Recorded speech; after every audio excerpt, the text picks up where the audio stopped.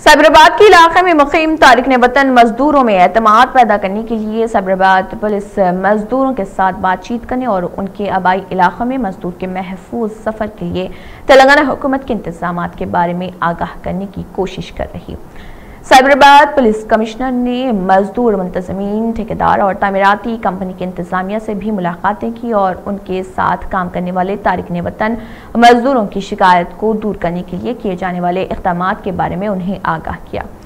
उन पर ज़ोर दिया गया कि वो कुछ मामला जैसे कि लॉकडाउन मुद्दत के लिए अजरत की अदायगी, सेहत से मुतल अमूर में शिरकत लेबर कैंपों में रिहायशी हालात को बेहतर बनाना वगैरह के ज़रिए मजदूरों का साथ दें। बादजा Cyberabad C P V C Sajjana ने इस जिमन में मजीद तफसीत बताई। दूसरे राज्यों से यहाँ पे काम करने के लिए आए से भाइयों को मेरा प्रणाम। आप सबको मालूम है, हमारा चीफ मिनिस्टर साहब तेलंगाना की गवर्नमेंट का परसों एक स्टेटमेंट दिए गए उस स्टेटमेंट के अनुसार हम लोग अभी ऑलमोस्ट अठारह ट्रेन पच्चीस हज़ार लोगों को अपने अपनी राज्यों को भेजे गए।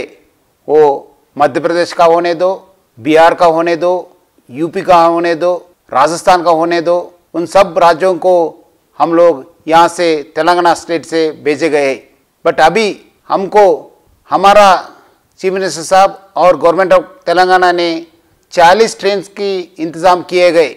अभी हमारा दूसरे राज्यों से भी हमको अनुमति चाहिए, हमको उनका परमिशन भी चाहिए आपको भेजने के लिए। बट अभी तक यहाँ वो राज्यों में बहुत सारे लोग, बहुत सारे स्टेट से आ रहे। उसके कारण से हमको परमिशन मिलने के लिए बहुत सारे टाइम मिल रहे टाइम ले रहे। इसलिए आप लोगों को मैं रिक्वेस्ट कर रहा हूँ, आप अपने अपने काम में रह जाइए अपने अपने काम कर दीजिए। और हम लोग भी यहाँ पे रजिस्ट्रेशन किया है, उसके हिसाब से ऑलमोस्ट दो दो लाख लोगों का रजिस्ट्रेशन किए गए हैं। अब उनकी, जब उनका बारी आते तो उनको, हम लोग उनका स्टेट को भेजता हूँ। जब तक आप लोग अपने अपने कैंप में रह के काम करने के लिए मैं रिक्वेस्ट कर रहा हूँ।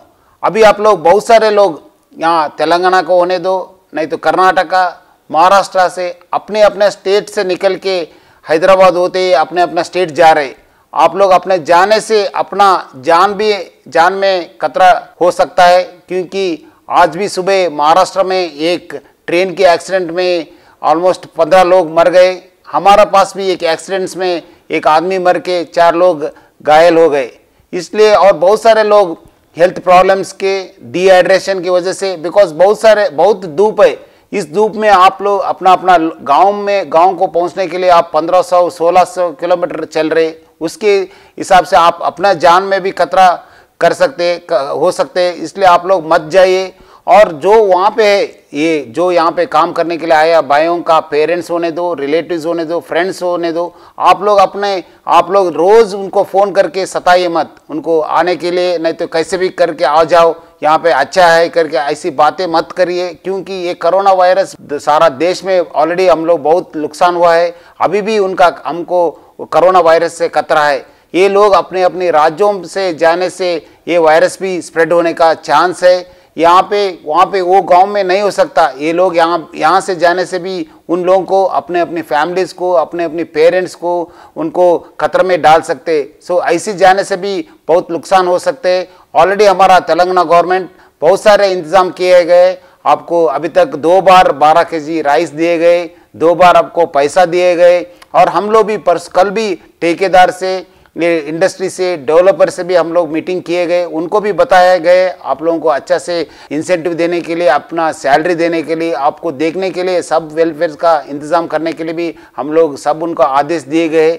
इसलिए आप लोग परेशान हो के आप लोग स्टेशन के मत आ जाइए और अपने, आप लोग चलने के लिए भी ट्राई मत करिए। आप जाने से भी आपको खतरा हो सकता है। आप यहाँ आपका ऑलरेडी रजिस्ट्रेशन किए गए। उसके हिसाब से हम लोग ऑलरेडी ट्रेन का ट्रेन का इंतज़ाम कर रहे सो आप लोग यहाँ पे रह के काम करने के लिए मैं रिक्वेस्ट करूँगा। अपना बारी आए तो डेफिनेटली हम लोग आपको कैंप को आके, आपको घर को आके हम लोग लेके अपना अपना स्टेट में वो भी फ्री और सब फ़ूड और फ्रूट्स का इंतज़ाम करके आपको भेजे जाते हैं। सो आप लोग अपने कैंप में रहने के लिए मैं रिक्वेस्ट कर रहा हूँ। Thank you